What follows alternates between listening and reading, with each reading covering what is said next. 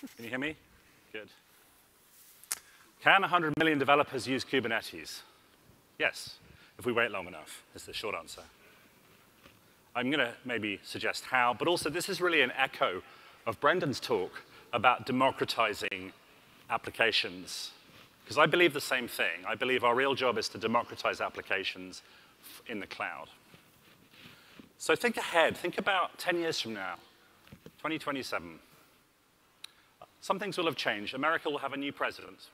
I'm voting for this guy.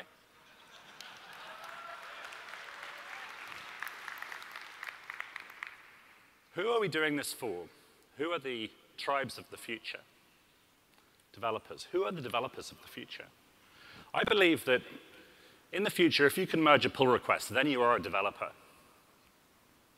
Today, GitHub recently announced that 100 millionth pull request has merged. So let's look at GitHub. Today, GitHub has 24 million users. 15% growth, which is reasonable, will take us to 100 million developers on GitHub in 2027. So if we can make it easy enough for everybody on GitHub to do this, Kubernetes could be democratized. So what's happening now that shows us what things are going to look like in 2027? Meet, meet this Finian.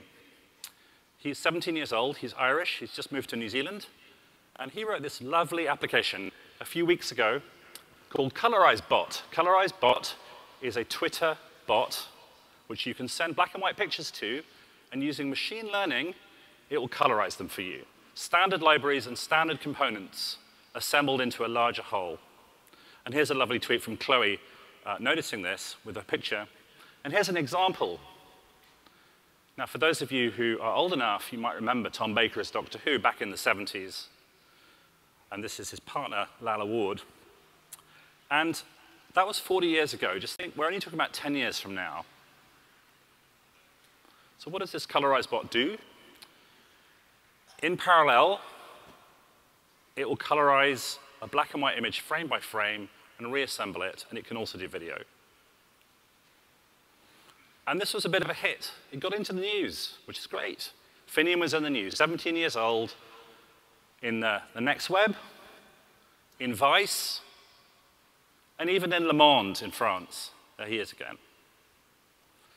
One of the tools that made it possible for him to do this, one of these standard components, was OpenFaaS, Functions as a Service. This is a really cool library for doing functions as a service anywhere, runs on Kubernetes. It also runs on Swarm, actually.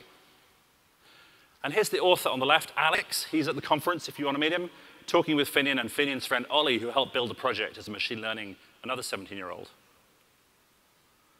At DockerCon, this was a hit. Everybody thought Colorize Bot was wonderful. OpenFaaS and Ollie were amazing people. We're running it on GKE. This is actually running on Google Cloud Platform. If you send a black and white picture now to that Twitter bot, GKE, Weave Cloud, and OpenFaaS, I work on Weave, will process it for you. And it's, it's cloud native everywhere. There's NATS, we've got some Minio, all these portable open source technologies that were assembled by Finian and Alex in a very short time. And here's what you would see if you're looking at our management tool for it, just a little ad there. And all this is possible because of something called componentization. Breaking things up into bits that can be reused. As Brendan said earlier, libraries that you can choose whether to use them or not, you assemble them how you want. Concept that was invented by an American scientist, Herb Simon, not too long ago, and became very popular due to the needs of industry. Here's a photograph of a Chinese skyscraper which was built in 19 days, 57 stories high, imagine that, because of componentization. And here's a counterexample. This gentleman in the UK, Thomas, did something called the Toaster Project. He decided to build his own toaster without buying any parts and making everything from scratch. So he made his own iron foundry to smelt his own iron to make a toaster by hand. And the picture on the front is actually what the, end, the toaster ended up looking like. He did do it. It took him months and months and months and months and months, and he spent thousands of pounds, or dollars if you prefer, and he plugged it in and it blew up. So who wants to build a toaster? So This is, again, echoing what Brendan said. When the components can be combined, then higher order systems, applications in other words, emerge at rapid and accelerating speed. This is what Herb Simon posited. And here's a great example. I heard Adrian talking earlier. Platforms are about speed. If you're moving slowly, you're not enjoying platforms and componentization. So here are some little takeaways about that. More higher order systems, very quickly, things like OpenFaaS. Metaparticle is an example of a higher order system. Lower barriers to entry, because you're democratizing the toolset. And coevolution of practices, programming models, and ways of working. Or, for short, tribes got a tribe. Each one of these changes brings out a new tribe. So going back to who is this for, let's just remind ourselves who we're building for in 2027. Finian, he's 17 today. Some of you know Lucas from Finland. I can't remember if Lucas is 17 or 18, but he's a teenager. Here's Chloe, who did the tweet. She's at a Docker conference, as you can see. A bunch of guys behind her. She's looking really happy there.